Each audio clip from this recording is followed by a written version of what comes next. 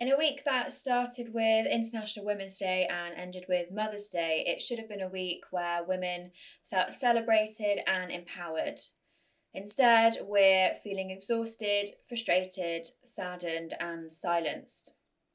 The case of murdered woman Sarah Everard has brought shock and anger to all, but for most women, her story is one that hits very close to home. Sarah first went missing on Wednesday, the 3rd of February, after walking home from a friend's house that evening. The case quickly gained traction on social media, with a missing persons post for her being shared far and wide, and is likely why this story has had so much press attention. Tragically, as we now know, she never made it home.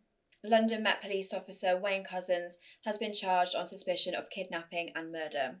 Sarah's story has prompted many women to speak out in anger at the endless violence seen against women, and many have taken to social media to tell their own stories.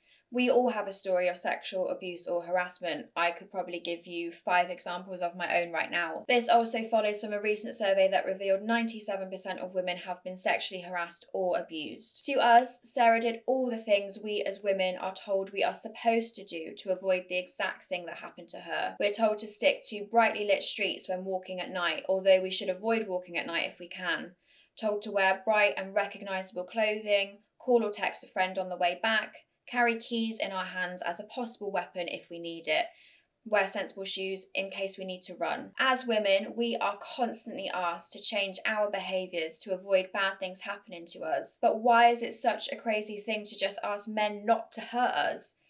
The debate this week has led to the Not All Men Brigade weighing in with their two cents. I know there's violence against women, but it's not all men. Unless you are actively fighting to end violence against women, and that includes calling out your sexist mates' jokes, creepy actions on nights out, having the boys will be boys attitude, calling women derogatory slurs, then you're also part of the problem. And that's it, isn't it? The attention that this is getting is forcing many to look at their own actions. And while no, of course, not all men are rapists and murderers, and not all men will incite violence against women, there have probably been times that you, as one of the good guys, have done something to make a woman feel uncomfortable probably without even knowing. And these smaller, unchecked actions leads to a society that upholds rape culture. That doesn't make you an inherently bad person, but you just can't ignore or deny the problem because it's making you feel uncomfortable or because it's not something that exists to you. Women don't have that luxury to ignore this. The ironic thing is that some men will also pipe up and say, well, we're scared we could get mugged at night too. And who is that by? Other men. So can we not agree that men and violence is a problem? Not all men pigeonholes the narrative into just focusing on murderers and rapists, passing them off as rare occurrences by sick individuals, without looking at the wider spectrum of unchecked attitudes, behaviours, and systems surrounding those issues. The sexist jokes, rape jokes, locker room banter, slut shaming, the lingering look at a cleavage, drunkenly touching up women in bars, problematic porn, it all feeds into a wider normalised rape culture. And while the majority of us know that rape and murder and domestic abuse is bad and would likely never do it, as a collective society, our attitudes to women are so filled with disrespect and contempt by allowing these things to go unchecked that it becomes very easy for people's views to fall into the more extreme spectrum. We live in a society that was built by men for men, but women make up 50% of the population. We deserve space just as much as men. We deserve a voice just as much as men, and attitudes must change. And if there's anything that the last few days have shown, it's that women's words are far too often shut down. So, actually, yes, we need men to check themselves, check their friends, and step up to try and fight this problem. This is not just a woman's issue, this is everyone's issue.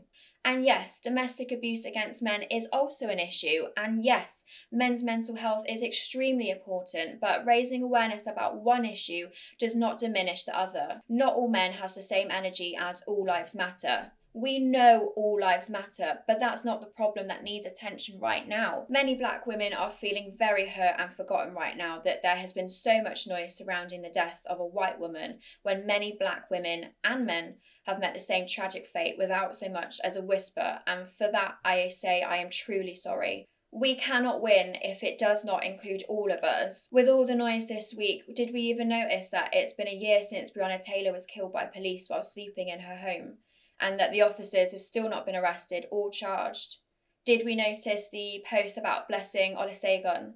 Her body was found on a beach in East Sussex last September, and the case has just been deemed as unexplained. Where were the outraged social media posts for her? Where was the vigil? This week also saw the suspected murderer of Nicole Smallman and Bibaa Henry plead not guilty, and he remains in custody until the trial starts on June the 7th. But what about the officers that took selfies with their dead bodies? Why have they not faced any kind of reprimand?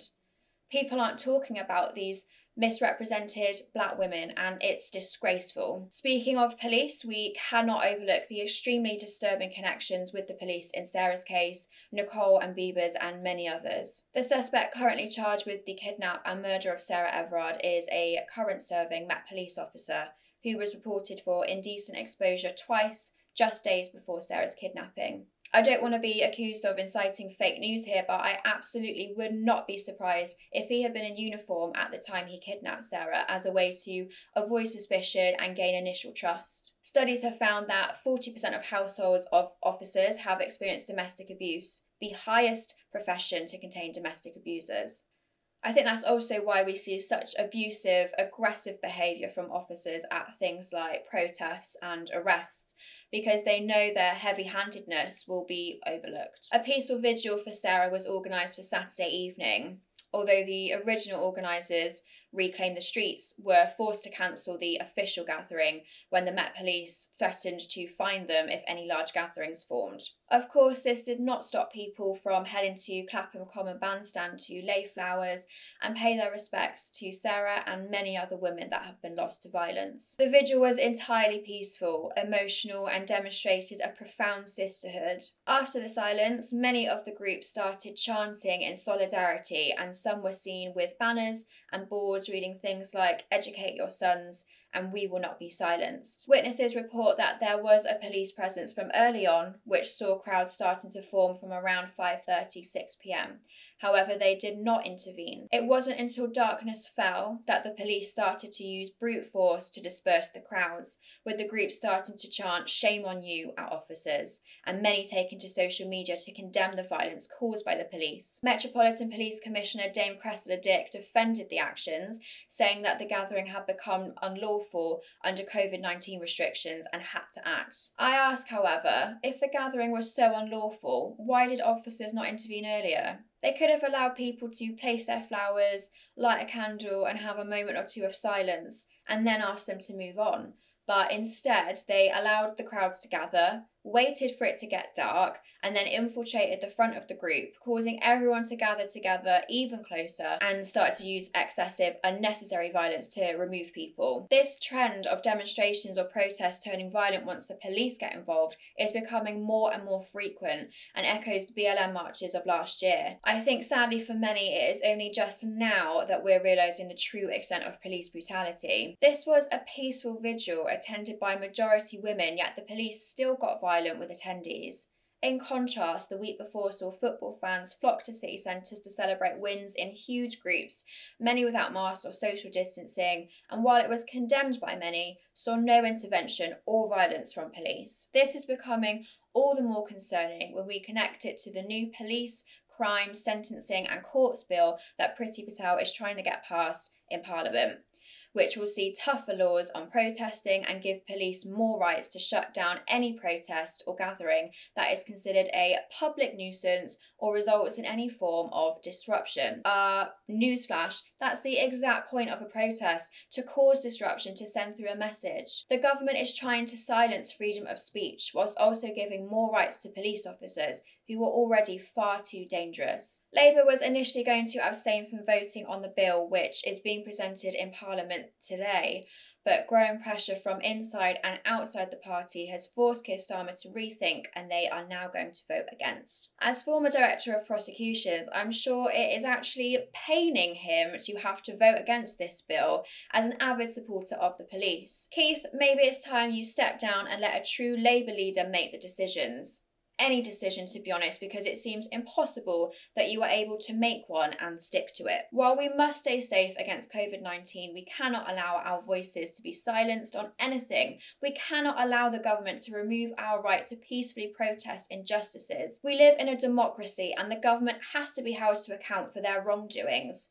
Priti Patel, Cressida Dick, Boris Johnson, Keir Starmer. Shame on you all. To anyone that has found this week all too heavy and emotionally draining, please look after your mental health and log off socials if you need to.